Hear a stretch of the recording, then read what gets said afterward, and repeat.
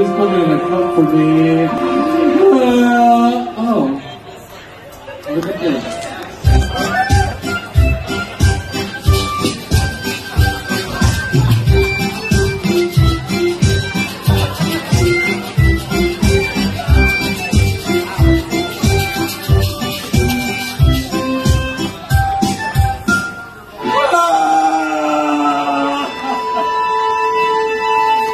You ever walking down the street and you're like walking at your little pace and then you come up on some people and they're just walking a little bit too slow? And you're like, oh my god, I don't want them to think that I'm like rolling up on them and you're like still trying to just go to the fucking grocery store because it's been two weeks since you bought some groceries. And you're kind of fucking hungry. And people tell you to be eating a little bit more and then uh, honestly I'll shut up once you buy me a fucking pour of beer and this shit for me. And then you go on and you're like, I want to pass you but I don't know how to without making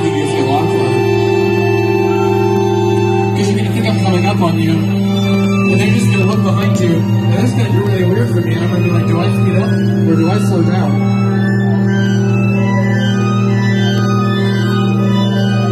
I slow down. I'm gonna wait. And they're still chatting, and every time they come back, I'm like, fuck, can you just like walk over to the side, or maybe I go around you? That'd be really nice.